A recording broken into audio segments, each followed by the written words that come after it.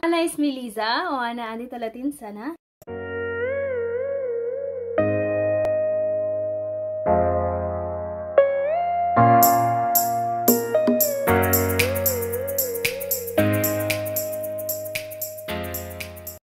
Welcome to my channel and if you are new on my channel please click subscribe, ring the bell for you to be updated for the new videos that I will be uploading. This vlog, I just want to share you those Egyptian words uh, that I've learned for these past six years that I've been here. Simple words that I was using to communicate to Egyptian people every day. For the first word, we have Izayik and Izayak means how are you? Uh, so as you notice guys, the, the girls will be Izayik because there's IK in the end and um, Izayak for the boys. I know most of the Filipina that was working already been in the Middle East know about this thing. So that's it. Isaac Isaac means how are you? Um, in Tagalog, we say that kumusta ka. So let's move to the next word. So the second word is just like the first word, Isaac Isaac. But uh, sometimes they say also amlae and you will answer uh, anak kwaisa alhamdulillah. Or enta amlae inti kwaisa uh, it they means uh, how are you? Are you okay? You are okay you are fine. It's just like this.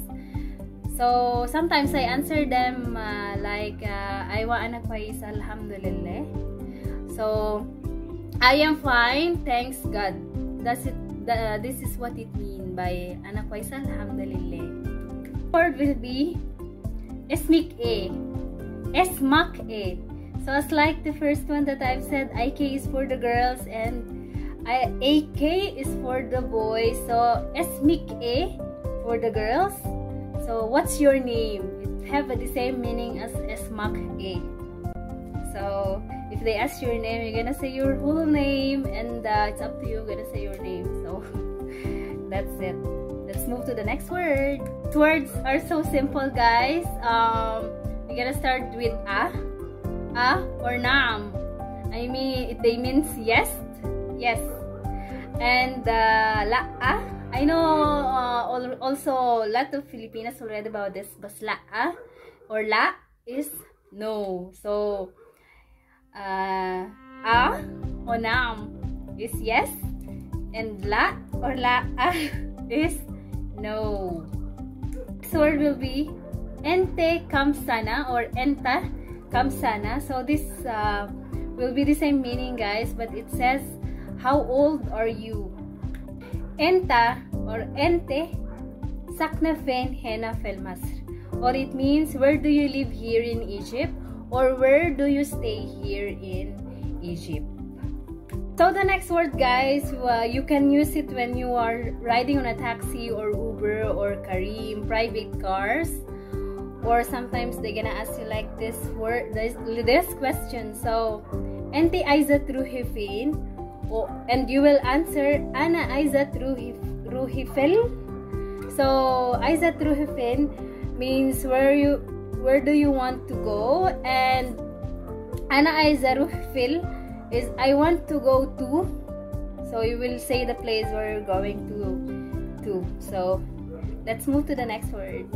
Question they always ask to me baladik fin. So it means guys where is your country? This is very popular to us uh, agnabeya or foreigners. They ask us always uh, because they cannot determine if you are Chinese if you are Thailand or Nepali or Indonesian, sometimes they cannot determine us because uh, they said they we have all the same faces and the same eyes. So they always ask us, Balatik Pain, o into Philippine, o into Indo Indonesia, o there's a lot of questions uh, when they see us because uh, they cannot determine us guys. Hindi nila alam yung pagkakaiba nating Pinay sa mga yon kasi totoo naman na mga hawig natin sila. Asians!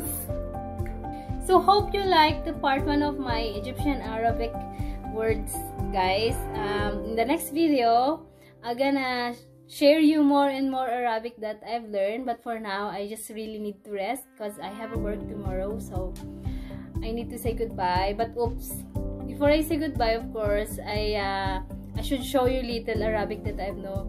Ana ismi Liza. Ana ismi Liza وأنا عندي 30 سنة. وأنا من مصر ست سنين سنين. وأنا بشتغل هنا في مصر أنا بحب أوي مصر. والأكل حلوة قوي. حلوة جدا. و أوكي ده لازم أنا هروح عشان لازم أنام. عندي شغل بكرة. وشوفكم البارت 2 بتاعت الفيديو ده. اتفرجوا؟ شكرا جدا واستسبح على خير باي باي جايز